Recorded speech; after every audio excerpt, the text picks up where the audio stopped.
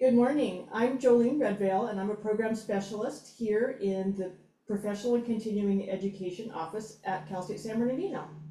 And I'm here this morning with Dr. Vishal Munsif, who is our program coordinator for the uh, Master of Science in Accountancy programs. Hi, Dr. Good morning, Munsif. Jolene.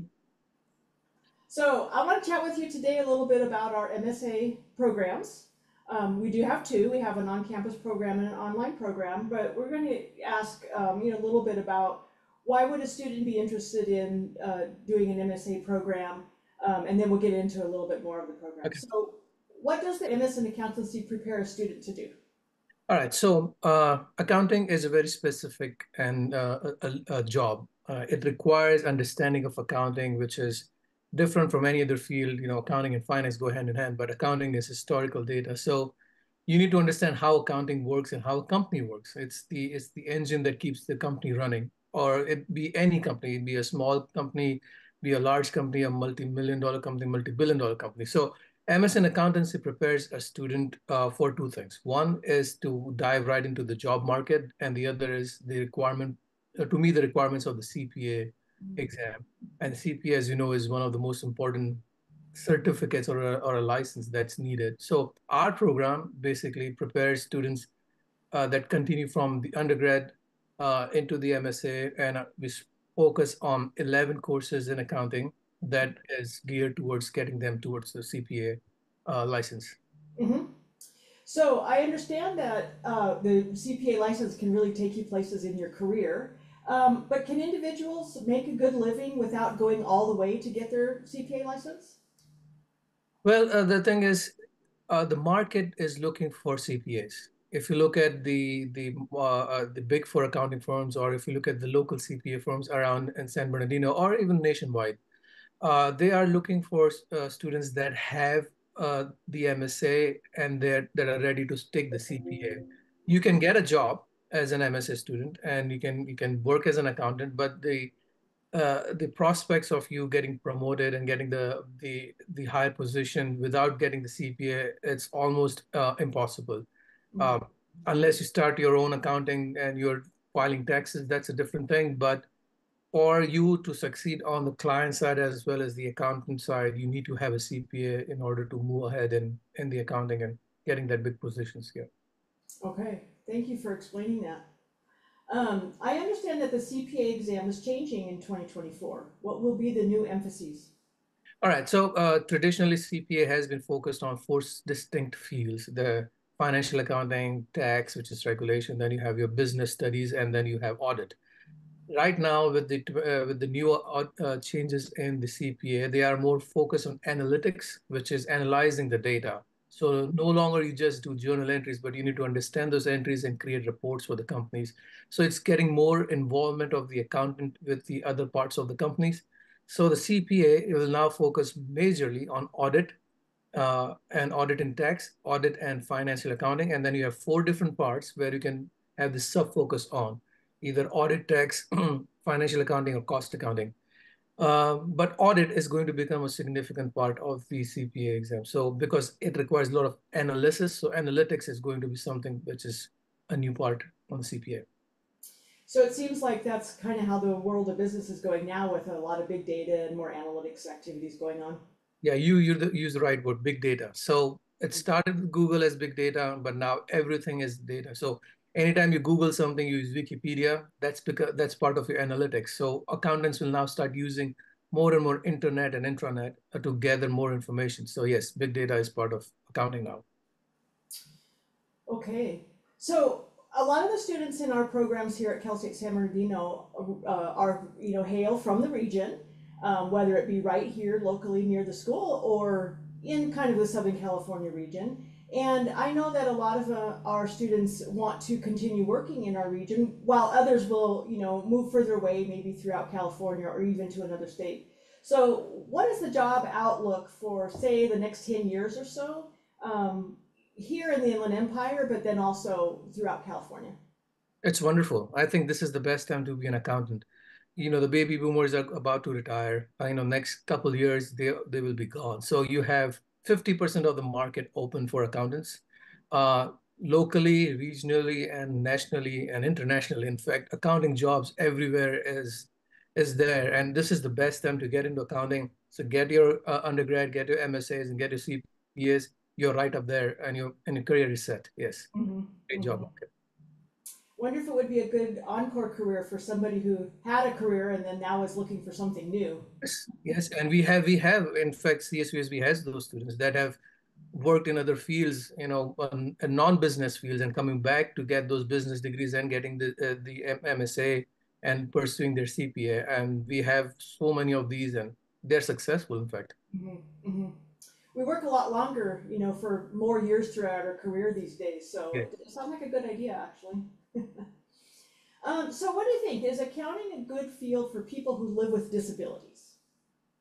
Yes, so uh, accounting is a great field, in fact. You know, uh, so it's more uh, more of uh, work on your computers, more of a thought process rather than a physical job, right? So, uh, as persons with disability can definitely be, and we have a lot of disabled students that are in the program, and they're doing extremely well. I know a few students that have taken their CPA and working well, and you know, um, when you work in accounting, they're looking at your skills in accounting rather than anything else. And your if your skills in accounting, your knowledge in accounting is good, get, getting that promotion is not hard at all. You know, uh, except as as I said, you need the CPA, so you need to get every step forward. But uh, it's a great field. It's a great field for anybody uh, with disabilities. I would say, it's a wonderful field. Uh huh. It's it sounds too like a person who i- you know uh, identifies with a certain community um, could be an accountant for people within that community and then build trust within their community so that they can provide that service. and it could grow you could grow your business in fact uh, accounting is a, is a very good way to do uh, non-profits also or community help you know you can uh, it's a good way to give back to the community and that's that's we have our programs you know that help the community file their taxes for free. And you can do that in your spare time. It's uh, there are two things to it. One you can you know you are providing giving back to the community. And the other thing is you can give that time as community work and you can get tax uh, deduction on that. Ah, time given so yeah. Uh huh. Great, great all around opportunities. Yeah. Okay, so I was talking with a friend of mine the other day about what I do here at Cal State San Bernardino, that I work with in, in our accounting programs, and that we have a master's degree. And my friend said, What would you do with a master's degree in accounting? Don't spreadsheets and QuickBooks do all of the accounting nowadays? well that's that's a general point of view but no uh spreadsheets are as good as the person using it right so i mean it's a, it's a program unless you tell it what to do it won't do it so even quickbooks is a very good program it scans everything and does everything for you but it doesn't do everything that you need to do specifically in accounting it can create your financial statements but it doesn't know how to interpret those right so as as i said analytics is going to be a big part of this uh, there there are there are uh, restrictions on how much a spreadsheet or a QuickBook can do. Mhm. You need to have an accountant sitting on it and then understanding it. You know, QuickBooks are used by general public accountants and non-accountants, but ultimately they have to go to an accountant to file their taxes. So that additional step that's needed, you need an accountant doing the actual work. Mm, okay, so it's like a construction worker using a hammer. The hammer doesn't do the, the job. Exactly. The exactly. to It's like any other skills job. Yeah. Okay. Um, I uh, communicate with a lot of prospective students, and one of the questions that I get a lot has to do with online versus in person. So sometimes they ask, are online programs harder than in person classes? No.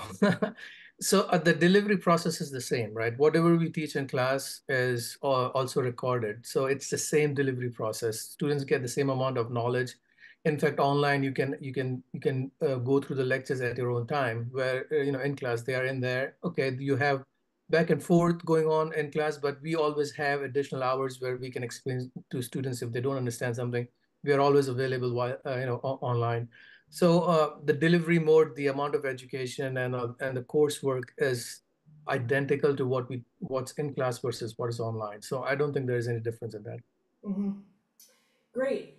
Um, Oh, oh, one more thing. I'm sorry, I forgot. oh, yes, please. So if you look at the CPA review courses, right? So all the CPA review courses are online. So none of them are in class or face to face at this point. Uh, unless you want to take it, it's it's hard because they're at a specific location where you need to drive a lot and go do that. Most of the CPA review courses are online. So we give you that training that you can use, utilize for the CPA prep courses. Uh, so yeah, it, it's it's a good training to study online. Uh-huh. Um, and it seems like with all the tools, like today, we're using um, uh, Zoom to to ha- to conduct this interview. That it's I see the potential where uh, accountants may be actually meeting with their clients online. So becoming familiar with content online and using the tools and navigating around could actually be a bonus for when when students get into the work world. exactly. So this is what is happening with the big four accounting firms. Uh, I know about EY that they have they don't have a five day work week anymore. They have three day work week and other two days are online. And so they are performing audits for Microsoft, for example, uh, online. So they are not physically going, they are doing all the work online because it's more analytics based. And since everything is available through a computer aided program, uh, that everything is done online. You meet with the clients online, you talk to CEOs of the companies online. In fact, job interviews are now online. You know, the face to face interview is the final step when they are trying to ready to hire you. But before that, everything is online. So this is a good practice to be online. Mhm. Good. Well, I think we've got a really nice overview of our uh, MS in Accountancy program today. And so I'm just going to put up a little information about uh, how to apply and where to get more information. Do you have any closing thoughts for us? Um, Yes, so uh, I would I would say anybody that's looking to pursue a career in accounting, it doesn't matter what undergrad you have. If you're looking to get in and switch into accounting, it's a very easy step. You know, you take a few review courses, few uh, online certificate, which you I'm sure you'll be talking about, and then get then get into the MSA. And MSA is very crucial because it focuses on all those hard part that you need to understand for the CPA. So we are very geared and focused towards the CPA uh, there are various certificates in accounting, but CPA is the only license that gives you the right to practice as an accountant. And um, that's why all the accounting firms or any client, they all want CPA. They want to see that you have that extra commitment towards CPA. So we have a great program, and accounting, as I said, is a wonderful field right now. Mhm. Great. All right. Well, thank you for your time, Dr. Munsif. I really appreciate it. And um, I'll see you soon. Thank you so much, Julia. Thank you.